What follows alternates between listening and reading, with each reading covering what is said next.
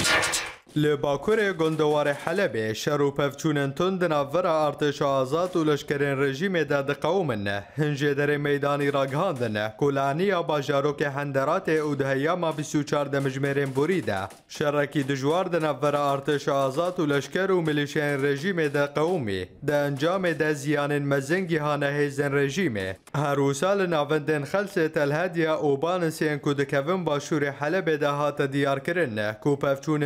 چکین گراندنا ورا ارتش آزاد و هیزن رژیم در رودان و تانها لپرانی نافچه باشور گندوار حلبه شر بردوامه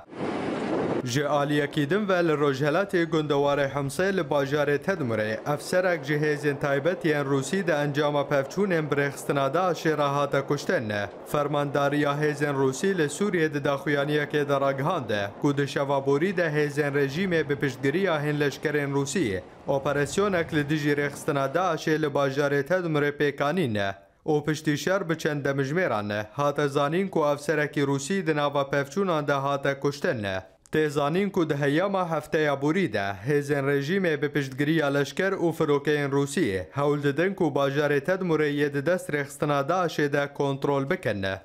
لو پارزگاه دیرا زوره جی شروع پفچون انتون دنافر رژیم او چه تیین داشه داد قومن نه جافگانیین دیرا زوره راگهان دنه کود شوابوری دل دردور آواهی آلیوه 173 نه او بالا فرخانه الاشکری هروسا بیراته میا پترول شرکی دجوار دنافر آهیزن رژیم او چه تیین داشه رودا ده انجام ده به دهان کشتی و بریندار جهردوالی هم وکتن نه و هاتا دیار کردن که ده یاما وی شریده. هجماره کولاتی سویل جی بونا قربانی این وان پفچونانه